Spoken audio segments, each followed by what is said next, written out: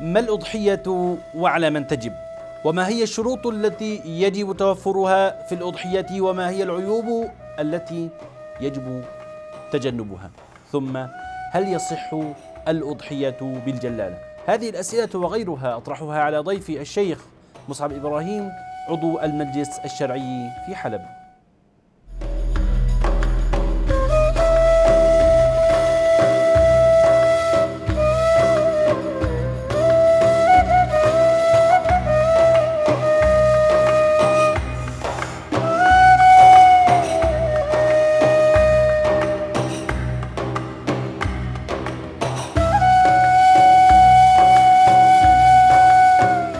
السلام عليكم ورحمة الله تعالى وبركاته.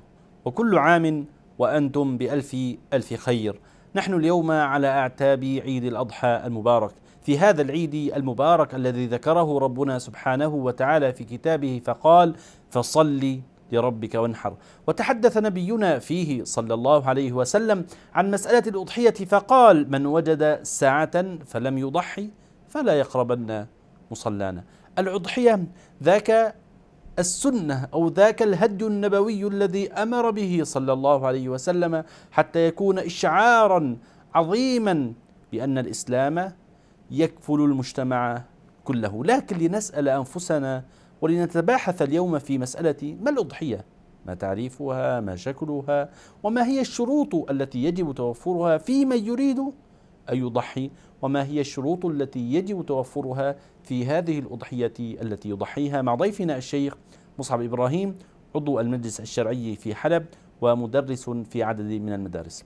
أهلا وسهلا بكم شيخ. أهلا وسهلا أستاذ محمد. الله يبارك فيكم ويجزيكم الخير. سيدي يعني اقترب العيد وفي هذا العيد لنا يعني شأن آه، فقهي نسميه يتعلم فيه الإنسان الأحكام حتى لا يضيع أو لا ينقص من أجره شيء. فسيدي ما الأضحية؟ وعلى من تجب هذا على من تجب هذا الهدي النبوي. طيب بسم الله الرحمن الرحيم. آه، أستاذ محمد كما تعلمون ويعلم الإخوة المشاهدون الأضحية هي ما يذبح في أيام النحر تقربا لله سبحانه وتعالى. فالأضحية في الأصل هي ما يذبح. وهذه الشعيرة التي هي في الأصل سنة نبينا صلى الله عليه وسلم كما تفضلتم بل هي سنة أبينا إبراهيم.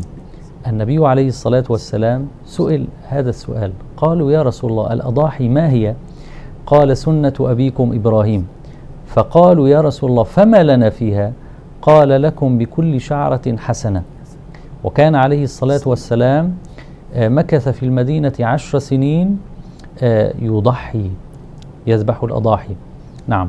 فهذه ال- الأضحية من حيث تعريفها من حيث أجرها العظيم من حيث أنها شعيرة من شعائر الإسلام وفيها الأجر العظيم لكل آه، من من يذبح هذه طيب سيدي، الأضاحي. هذا هذه الأضحية أو هذا الهدي أو هذا الفعل وهذا الأجر نعم. العظيم الذي يتحقق به كل إنسان يفعل هل هذا الأمر الأضحية هي واجبة على كل إنسان مسلم في مناطقنا وفي العالم كله.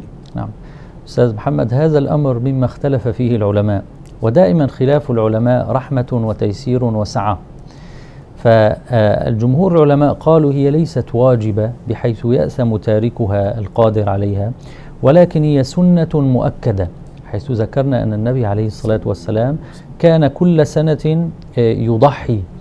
و آه، يعني ال- المسلم ال- ال- الذي يجد سعة وهو حريص على دينه آه، ويعلم الثواب العظيم المترتب على الأضحية وأنها من شعائر الإسلام لا يستطيع إلا أن يضحي اتباعا لسنة النبي صلى الله عليه وسلم. وشكرا لله تعالى ولأن يحوز هذا الأجر العظيم من الله سبحانه وتعالى. يعني ورد في فضلها وثوابها الأضحية أنها تأتي يوم القيامة بلحمها وقرونها وأظفارها فتكون في ميزان حسناته.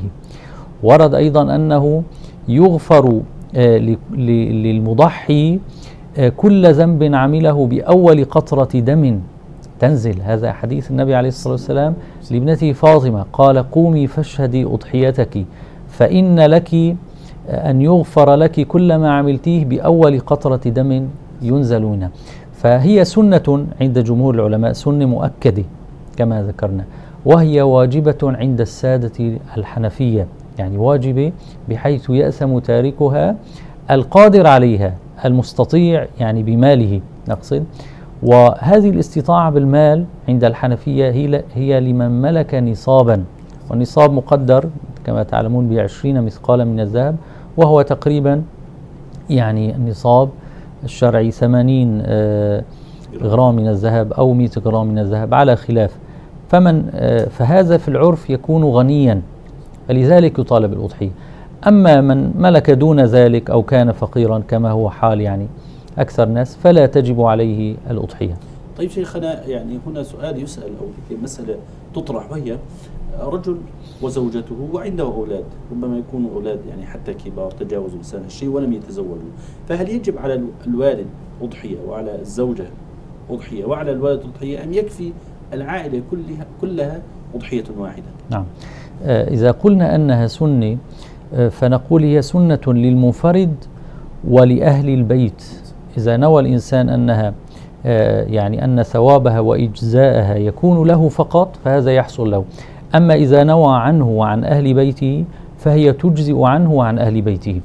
ماذا نقصد بأهل بيته آه، أقرباؤه أو الوارثون أو من يعول؟ على خلاف نقول هو من يعول يعني من ينفق عليهم فتجزئ عنهم كلهم. إن كان في البيت مثلا آه، والده ووالدته وإخوته الذين هو ينفق عليهم وزوجته وأولاده.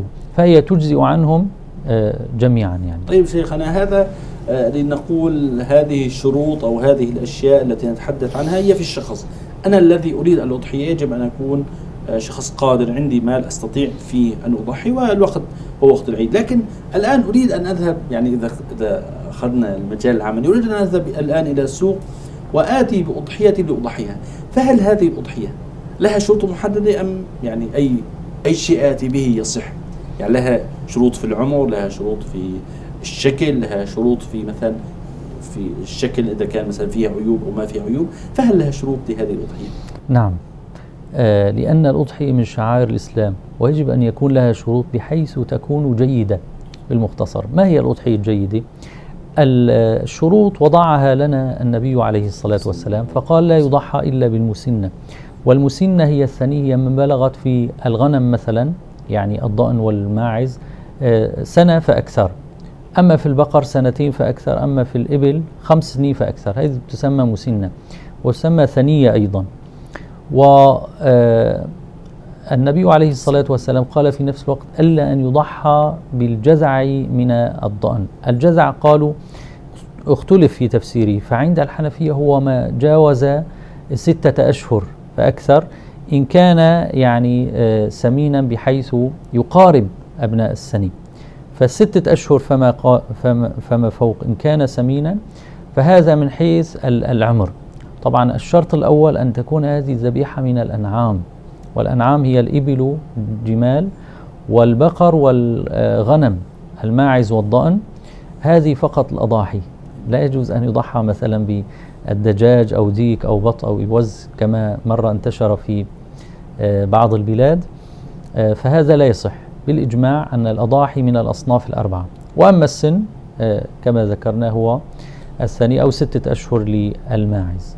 عفوا هذا من ناحية الضأن. من ناحية يعني خلينا نحن هنا وضعنا شرطين، الأول أن يكون غنما أو بقرا أو ابلا، والغنم يقصد به الغنم الذي نعرفه نحن والماعز، م. والثاني أن يكون العمر وهو إذا قلنا ستة أشهر ففوق لبعض الغنم والسنة ففوق للكل وللبقر والجمال كذلك أعمار محددة، هل توجد شروط أخرى؟ يعني مثلا دائما هو حقيقة يعني أكثر الأسئلة التي تسأل في الأضحية يسالك أتيت بأضحية فيها مشكلة مثلا ذهبت عينها آه، عندها مشكلة في أذنها مثلا ذهبت بسبب خطأ في سكين شقت أذنها. هذه العيوب هل تجعل هذه الأضحية ممنوعا التضحية بها أو لا يجوز التضحية بها أن يكون يعني فقهي نعم بارك الله بكم آه، أخي أستاذ محمد آه، كما ذكرنا أن الأضحية من شعائر الإسلام فيجب أن تكون غير معيبة. والنبي عليه الصلاة والسلام ذكر بعض العيوب والعلماء آه، استنبطوا أو قاسوا عليها عيوبا أخرى. آه، غالبا تكون هي العيوب المؤثرة في السمن في اللحم يعني وتكون مؤثرة في الشكل أيضا. إيه. فمثلا النبي عليه الصلاة والسلام يقول آه، لا تجوز أربع أو قال أربع لا تجوز في الضحايا. قال العوراء البين عورها ثم قال المريضة البين مرضها. قال العرجاء البين عرجها ثم قال العجفاء يعني النحيف التي لا تنقي. سبحان الله. فهذه أربعة آه، أساسية يعني في عيوب الضحايا. لا تجوز مع هذه العيوب. آه، مثلا ذهاب اللسان أو ذهاب الأذن قطع الأذن أو هذه العيوب التي تؤثر في الشكل أو في اللحم آه، طبعا باستثناء المخصي. هذه التي تؤثر في الشكل واللحم كلها لا تجوز معها التضحية بها.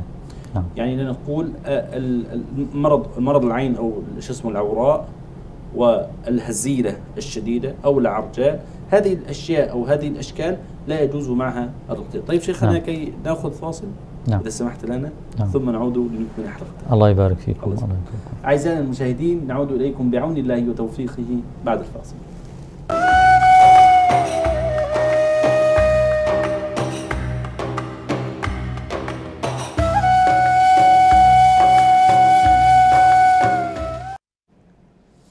السلام عليكم ورحمة الله تعالى وبركاته. مرة أخرى في حلقة متجددة من برنامجكم ومنهم من خوف. نتحدث فيها عن الأضاحي والأضحية وأحكامها. شيخنا كنا نتحدث ذكرنا آه، العيوب الأساسية التي تجعل هذه الأضحية لا يجوز التضحي بها ويجب أن الإنسان أن يمتنع عن هذه العيوب الأربعة إذا ذكرتها. طيب هنا دائما يوجد سؤال يسأل في نسميها مشكلة تحصل وهي إنسان أخذ غنمة قد طبق فيها كل الشروط التي ذكرتها من العمر أنها من الأنعام ومن العمر وأنها ليس فيها عيب. فأتى أثناء الذبح أو قبل الذبح بقليل حصل لها عيب. كسرت رجلها آه، يعني مثل عرجاء أو مثلا أصيبت في عينها أو غيرها. فهل هذا العيب أو يمنع التضحية بهذه الغنمات التي اشتراها هذا العيب لا يمنع أستاذ محمد. أثناء الذبح يمكن أن آه، يعني تفلت السكين إلى عينها فتنقلع عينها أو تكسر رجلها مثلا وقعت أو كذا أثناء الذبح فهذا آه، تجزئ معه الأضحية بعد أن تتعيب وقت الذبح.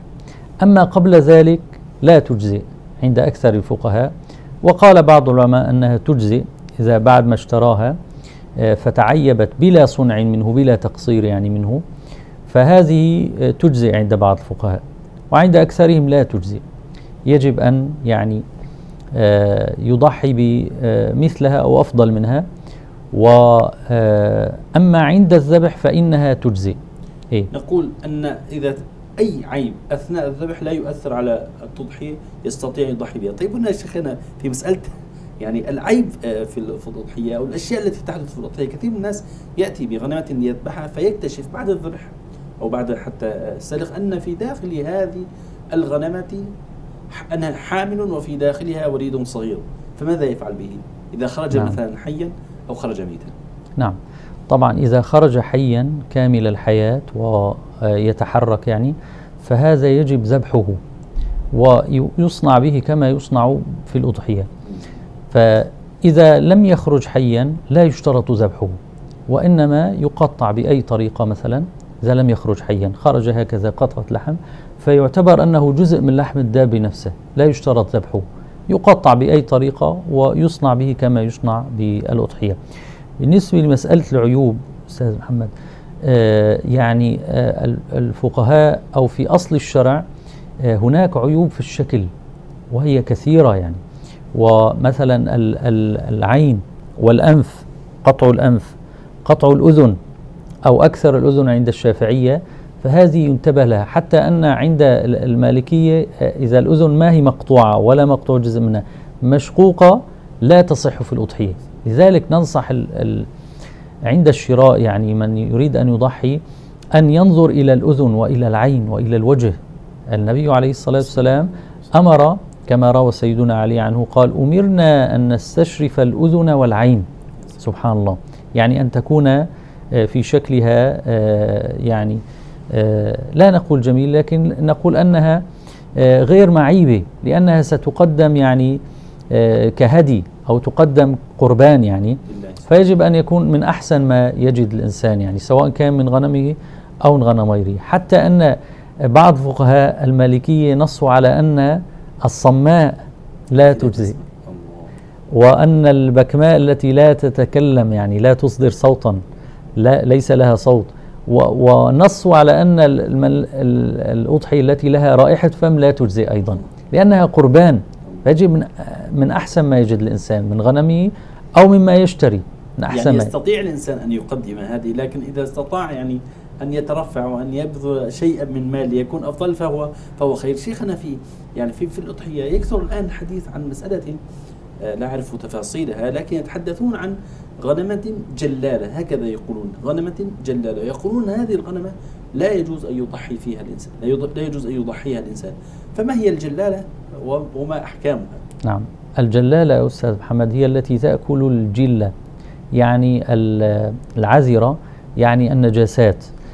ليس الوسخ النجاسات لأن من الأوساخ والقمام التي تلقى هناك خضروات هناك أشياء نافعة البهائم هذه ليس فيها شيء. لكن هي تأكل النجاسة وتبقى تأكل النجاسة فترة حتى ينتن لحمها. فهذه تسمى جلالة وهذه هناك خلاف في جواز التضحية بها. على كل حال ال- ال- الأفضل أن لا يضحي الإنسان بها إلا أن تحبس على طعام نقي فترة حددها الفقهاء مثلا قالوا في الغنم عشرة أيام في ال- الإبل أربعين يوما يجب أن تحبس. البقر عشرين يوما تحبس على طعام نقي حتى يصح التضحية بها. نعم. يعني سيدي أنا أنتم فرقتم تفريق ما أدري يعني ما, ما الفرق بين النجاسة وبين الوسخ يعني نحن الذي نعرفه أن هذه هي نجاسة. فما الفرق بين النجاسة التي ذكرتها وبين الإنسان أو بين هذه الحيوان الذي يأكل من وسخ الناس أو ما يلقى إلى الزبالة. نعم. ال- النجاسة معروفة هي نجاسة البهائم مثلا الدواب أو حتى يعني قاذورات الإنسان أو أي حيوان أي كائن حي. هذه النجاسة ال- ال- التي هي في الشرع النجاسة المعروفة. فهذه آه، إذا أكلتها ال- الدابة لا يصح التضحية بها أما الوسخ مثلا إنسان رمى الزبالة مثلا في مكان تجمع القمامة. هناك قشور جبس هناك قشور خضروات هناك خضروات هناك بعض الأطعمة في هذه ال- القمامة. فهذه آه، تأكلها يعني ولا تصير جلال. بها ولا حرج طيب أبدا. شيخنا كيف يستطيع الإنسان يعني الآن ذهب الإنسان إلى السوق نكون عمليين يعني ذهب الإنسان إلى السوق كيف يستطيع أن يعرف أن هذه جلالة أو ليست جلالة؟ يعني هل يعني يحتاج للسؤال أم يكتشفها من شكلها مثلا؟ نعم من رائحتها. من رائحتها أستاذ محمد؟ من رائحة لحمها عندما يقترب الإنسان منها يعني يظهر هذا واضحا يعني جدا. وإذا آه، لم يظهر هذا يكون من الغش الذي يعني يفعله بعض بياعي الأغنام أن يغش. وهذا نريد أن ننوه أن هذا قليل جدا جدا نادر لا. أحد. تقصد سيدي في في واقعنا. نعم. لا أحد يطعم ال ال يعني الأغنام أو الأنعام يطعمها النجاسة فقط. الجلالة هي التي تأكل النجاسة فقط. ولا تأكل مثلا بعض من النجاسة وبعض من الطعام مثلا الآخر. تقتصر على النجاسة هذه تسمى جلالة في كل طعامها يعني فينتن لحمها ولا يصح هنا التضحية بها. طيب شيخنا كي ننتقل إلى درجة المراد رجاء الإنسان الآن علم نفسه وجب عليه أو سن له سنة مؤكدة يضحي. اشترى الغنم الآن يريد أن يذبح. فما هو الوقت المحدد للذبح؟ ما البداية حتى النهاية نعم. الوقت محدد كما هو معلوم هو بعد صلاة العيد. آه وبعض فقهاء اشترط أن يمضي وقت قصير أيضا إضافي بعد صلاة العيد وبعد الخطبة.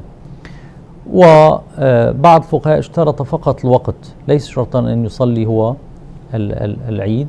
وإنما يمضي بعد طلوع الشمس يوم النحر مقدار ركعتين خفيفتين فهذا أول وقتها.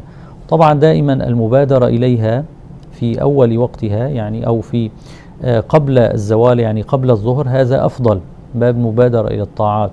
وأن يشهدها بنفسه أولا أن يذبحها بنفسه إن استطاع. ما استطاع أن يشهدها؟ ليدعو فوقها. يقول الدعاء المعروف اللهم هذا منك وإليك. قل إن صلاتي ونسكي ومحياي ومماتي لله رب العالمين. آه، اللهم تقبل مني ثم يقول بسم الله والله أكبر. آه، فهذا أول وقتها وينتهي وقتها بنهاية اليوم الثالث من أيام العيد غروب شمس اليوم الثالث من أيام العيد ليس اليوم الرابع. آه هذا عند جمهور العلماء. الشافعي أجازوا لليوم الرابع من أيام العيد هذا ينتهي وقتها. وطبعا يكره الذبح ليلا. بشكل عام كل الأيام. إيه كل أيام يكره الذبح ليلا.